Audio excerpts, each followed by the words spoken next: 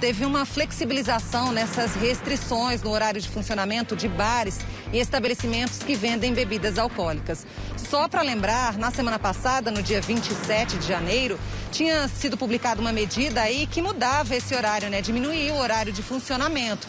E aí o COI percebeu que 57% dos pacientes que estão internados em UTIs em Goiânia são de pessoas do interior do estado. E isso não faria sentido, então, diminuir o horário de funcionamento dos bares e estabelecimentos da capital. Por isso, deve ter essa flexibilização que deve valer a partir de hoje, depois da assinatura do prefeito Rogério Cruz. A gente tem aí uma entrevista com o Ives Mauro Terni, superintendente de Vigilância em Saúde de Goiânia, falando sobre isso. Vamos ouvir.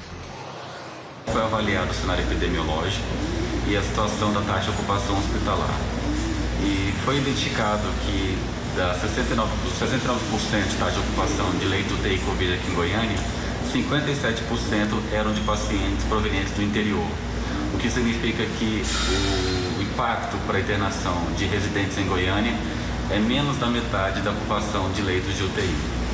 E a curva epidemiológica tem demonstrado uma estabilidade do recrudescimento do número de casos, o que dá subsídios para o prefeito de Goiânia reavaliar o decreto de fechamento dos bares e restaurantes nesse momento.